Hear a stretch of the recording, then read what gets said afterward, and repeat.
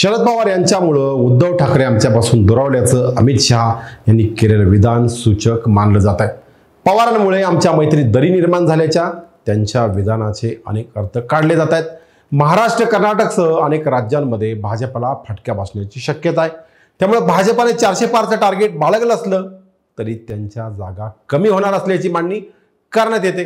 काही तज्ज्ञांनी बहुमताच्या जवळपासच भाजप घुटमळणार असल्याचं म्हटलंय. त्यांची जाणीव झाल्यानंच शहा यांनी ठाकरेंकरिता साखर पेरणी केल्याचं मानलं जात आहे एकूणच काय? तर भाजपचं गणित गणलंय आणि त्याला ठाकरेच कारणीभूत ठरतायत. त्या गरजेतून भाजपाचा ठाकरेंच्या बद्दलचा सॉफ्ट कॉर्नर वाढू लागलाय.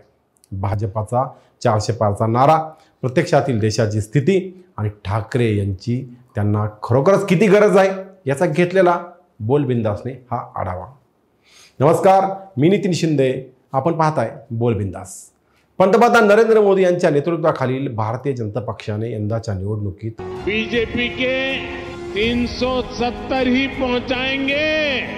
एनडीए को 400 पार। अब की बार चारसो पार असा नारा दिलाय.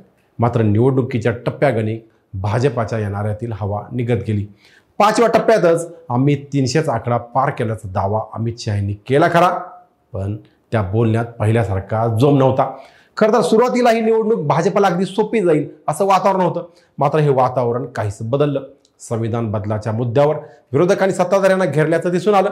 त्यातून काही राज्यांमध्ये भाजपा विरोधात मतदान झाल्याचंही दिसलं. मागच्या निवडणुकीत यू पी एम पीसह महाराष्ट्र कर्नाटक बिहारमध्ये भाजपला चांगलं यश मिळालं होतं.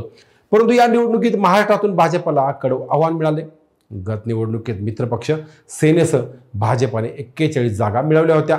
त्यात सेनेच्या अठरा तर भाजपला तेवीस जागा मिळाल्या होत्या.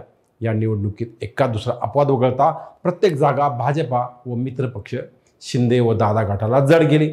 भाजपा व मित्रपक्षांना केवळ सोळा ते वीस जागावर समाधान मानावं लागेल असा अंदाज अनेक विश्लेषकांनी व्यक्त केला ही सगळी वजाबाकी ठाकरे सोबत नसल्यानं होऊ घातली.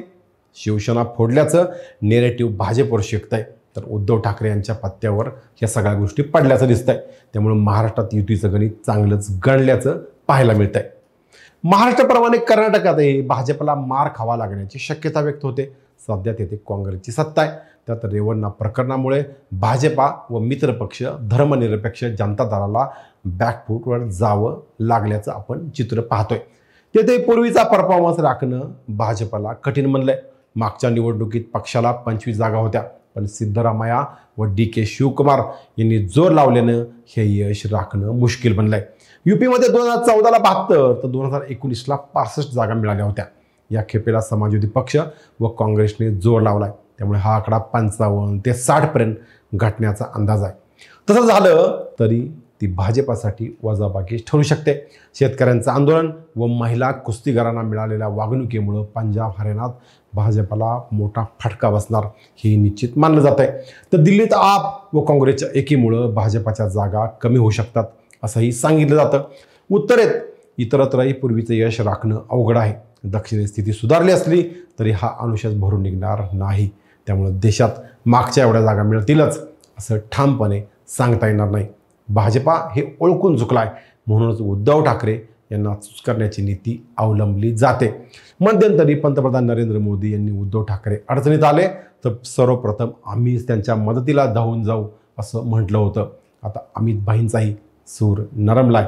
त्यांनी शरद पवार यांच्यावर सगळं खापर फोडलं आहे त्यांच्यामुळं सेना भाजपची मैत्री तुटल्याचा आरोप त्यांनी केला आहे यातून ठाकरे यांना पुन्हा सोबत घेण्याचा पर्याय त्यांनी खुला ठेवल्याचं दिसतंय. पक्ष चिन्ह व नेतृत्व हिरावून घेतल्यानं भाजपबद्दल ठाकरेंच्या मनात राग आहे. तो लगेच निवडेलही असंही मानायचं कारण नाही. दोन हजार चौदामध्ये युती तुटल्यानंतर सेना भाजप एकत्र आले होते पण तेव्हाच्या व आत्ताच्या स्थितीत फरक आहे. तर ही जागा कमी पडल्या तर हिंदुत्वाच्या मुद्द्यावर भाजपाकडून सेनेच्या मनधरणीचे प्रयत्न होऊ शकतात. मोदी शहांची साखर पेरणी हे त्यासाठीच पहिलं पाऊल आहे. आकड्यांचं गणित खरंच गणलं तर भाजपा ठाकरेंना कन्व्हिन्स करण्यात यशस्वी होईल का? हे पाहणंसुद्धा महत्त्वाचं ठरेल. तोपर्यंत हा व्हिडिओ आपल्याला कसा वाटला?